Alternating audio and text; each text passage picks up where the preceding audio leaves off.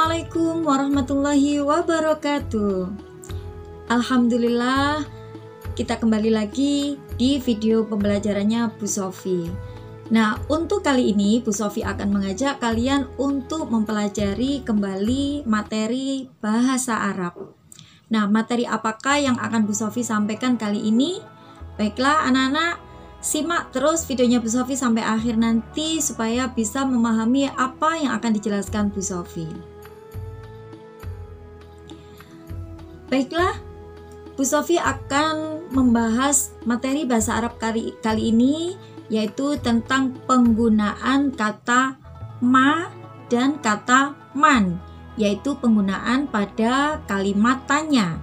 Nah, bagaimanakah cara penggunaan kata ma atau kata man tersebut? Nah, simak penjelasan Bu Sofi berikut ini. Selain kata ma dan juga man, Bu Sofi akan mengingatkan kembali sedikit tentang kata hada dan hadihi yang mana nanti ada hubungannya dengan kata tanya man. Kata hada jika digunakan untuk orang itu digunakan untuk orang laki-laki. Contoh hada Ahmad hada ustadun. Dan jika digunakan untuk benda atau hewan digunakan pada kata yang di akhir tidak ada huruf tak bulat.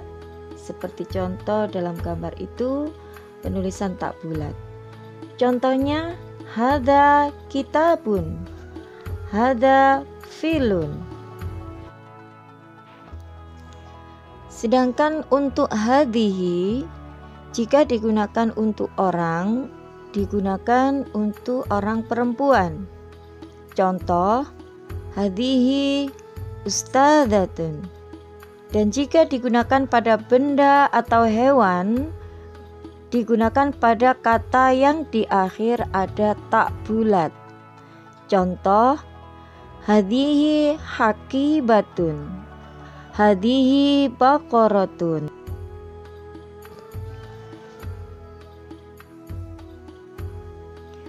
Untuk selanjutnya, kata tanya yaitu ma dan man. Untuk orang menggunakan kata man. Contoh untuk orang laki-laki man hada. Sedangkan untuk orang perempuan man hadihi. Dan jika untuk menanyakan benda atau hewan menggunakan kata ma. Contoh yang di akhir tidak ada tak bulat mahada dan yang di akhir ada tak bulat mahadihi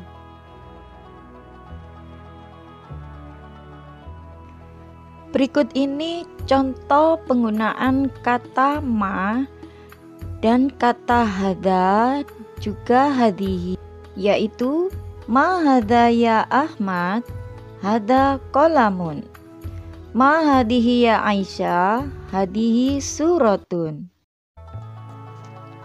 Ma hada ya Ahmad, hada takwimun.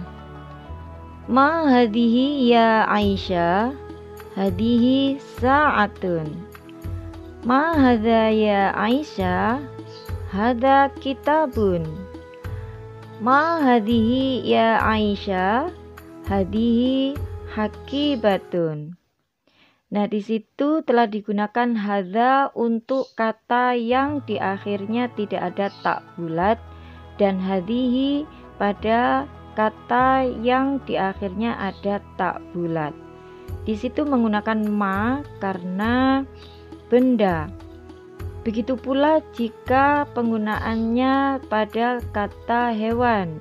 Contohnya Ma hadihi ya Ahmad hadihi bakorotun sapi. Dan ma hada ya Ahmad hada filun. Ma hadihi ya Aisyah hadihi. Ma hada ya Aisyah hada jamalun. Ma hada ya Aisyah hada samakun. Untuk selanjutnya, jika digunakan untuk menanyakan orang, maka kita menggunakan kata man. Contohnya seperti yang kalian lihat, titik-titik ada tanda tanya, lalu ada kata hada Ahmad, berarti bertanya. Nah, kalian pilih alif, ba, atau jim. Karena menggunakan karena untuk orang maka kita bertanya menggunakan kata man, yaitu man hada. Yang jim ya. Dan yang bawah berikutnya hadihi ustadatun karena perempuan maka di situ yang kita pilih adalah ba yaitu man hadihi karena perempuan menggunakan hadihi namun jika laki-laki menggunakan hada. Untuk selanjutnya, jika ada pertanyaan seperti yang barusan namun untuk benda, ada titik-titik lalu tanda tanya dan ada kata hada daftarun. Karena benda, maka kita menggunakan kata ma. Karena daftarun tidak ada tak bulat di akhir, maka menggunakan hada. Jika dipilih antara alif, ba, dan jim, maka yang benar adalah alif, yaitu kata mahada. Mahada, hada daftarun, seperti itu. Begitu juga yang di bawahnya. Karena di situ ada tak pada, pada kata mim sahatun maka menggunakan hadihi. Hatun adalah benda yaitu penghapus maka menggunakan kata ma. Dan jika dipilih antara alif, ba, dan jim, yang betul adalah ba, yaitu kata mahadihi. Jika ditanyakan, diterapkan mahadihi, hadihi mim sahatun. Apa ini? Ini penghapus. Itu artinya. Perlu saya sampaikan di sini bahwasanya kata ma artinya adalah apa. Sedangkan kata man artinya siapa. Maka dari itu untuk menanyakan benda kita menggunakan kata ma.